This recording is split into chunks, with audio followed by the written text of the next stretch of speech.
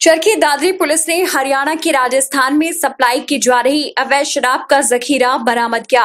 Police ने इस पूरी कार्रवाई को गुप्त सूचना के आधार पर किया। दरअसल जोजू कला पुलिस थाने को गुप्त सूचना मिली थी कि दादरी से महेंद्रगढ़ की ओर अवैध शराब से भरा राजस्थान नंबर का ट्रक रात के अंधेरे में निकलेगा। सूचना के आधार पर थाना प्रभारी अनिल कुमार ने अपनी टीम के साथ गाँव आदमपुर के पास नाकेबंदी की, जिसमें एक शराब की मैकडॉल और रॉयल चैलेंज ब्रांड ब्रांड की पेटियाँ बरामद करते हुए दो लोगों को गिरफ़्तार किया है। फ़िलहाल पुलिस ने आरोपियों से पूछताछ करते हुए जाँच शुरू कर दी है।